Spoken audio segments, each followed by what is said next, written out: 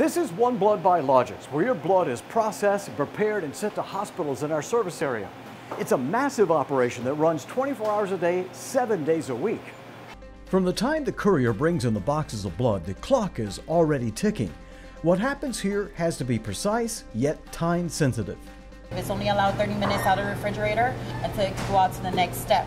So we have to move fast, fast, fast. OneBlood Biologics is set up in an efficient flow for processing blood. Once the computer checks in the unit, then the unit is spun in this washing machine looking centrifuge to separate the components. This is the G5 expressor where we express the plasma and platelets from the RBC.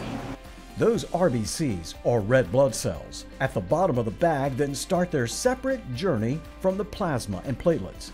This is where the components go in different directions. The blood is then filtered to reduce white blood cells to prevent reactions in patients.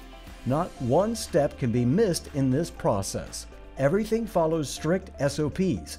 Those are standard operational procedures. I'm validating getting the blood ready for labeling. After the blood is validated and stored, uh, it is now ready for us to try to label it, and the computer will let us know. If they pass the test results, they get labeled and off they go.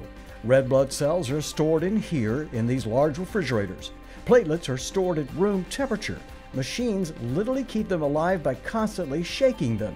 And platelets move fast. They have to be transfused into a patient within five days.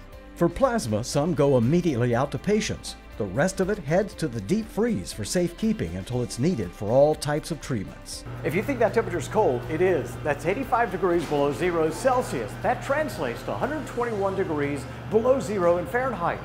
That's cold. Some of the plasma is thawed and used to treat blood loss in patients. The plasma is spun down in these centrifuges to produce cryoprecipitate, or cryo for short. The excess plasma is squeezed out and then weighed, validated, and pooled with other cryo, and off it goes to the hospitals. Biologics here at OneBlood is at the heart of what blood centers do. Everyone who tours here is astounded by what they see. It's constantly moving, there's never a dull moment, and most important, it saves lives. I'm Pat Michaels for OneBlood.